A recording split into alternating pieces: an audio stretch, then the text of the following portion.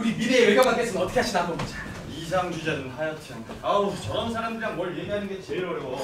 내가 말했잖아. 저런 인간들은 일단 눈물부터 흘리고 본다니까. 그래 아무래도 안 되겠다 한마디로 가망 없어 너네 아무것도 못 얻을걸? 뭐야? 누가 어떻게 알아? 직감이야 가 그럼 빠지랑 같이 꺼지라고. 좀 믿을 생각은 안 하고. 넌 뭘 믿는데? 나? 난 발로 잘 믿지. 그리고 우리의 승리. 빠샤 가자 뭐야 왜 그래? 왜 분위기를 망쳐? 그럴 건 뭐하러 호기심 때문에 온 거야 뭐 인생 공부도 할 겸? 야 인생 공부는 뒷뜰에 나가서 하든가. 그럴까?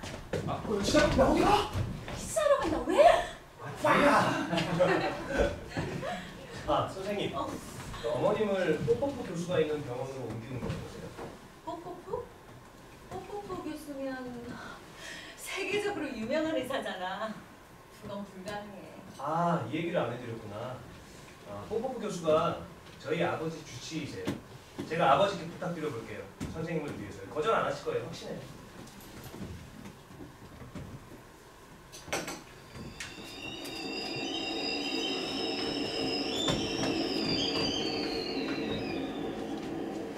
아, 참. 아, 정말 그래도 될까? 그럼요 아니, 어, 어떻게 보답을 하지? 뭐 별거 아니에요 어, 아니야. 아, 내가 입시 준비를 도와줄 수 있어요. 가정교사처럼 공대 지망하죠. 감사한데 저는 무기모 대학에 지원해요 모스크바 국제관계대요? 네 아, 거긴 좀 어려운데 유감스럽지만 그쪽 분야는 내가 아, 모스크바에 우리 숙모가 사시는데 혹시 시험 보는 동안 먹을 것이 없으면 내가 숙모한테 편지를 써줄게. 아니다, 아니다. 전화를 해야겠다. 숙모는 정말 친절하고 좋은 분이셔. 혼자 사시니까 넌 다른 사람 신경 쓸 필요도 없고.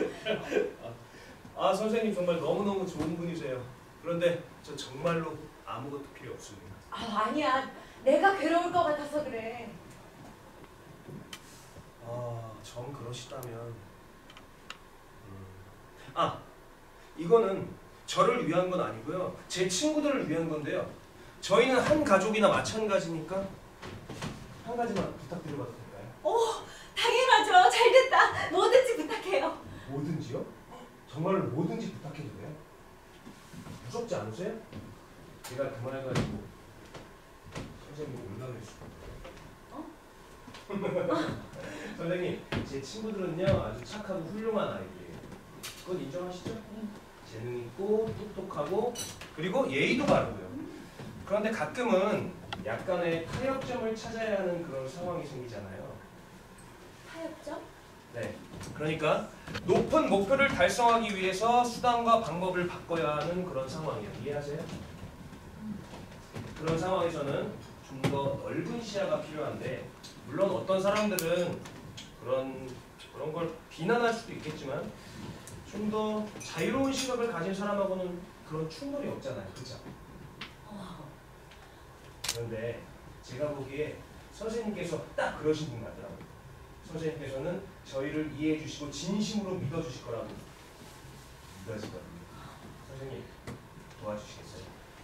어, 노력할게. 내가 제대로 이해한 건지 모르겠는데. 와 선생님 정말 감사합니다. 정말 감사해요 선생님. 얘들아 선생님께서 도와주시기로 하셨어.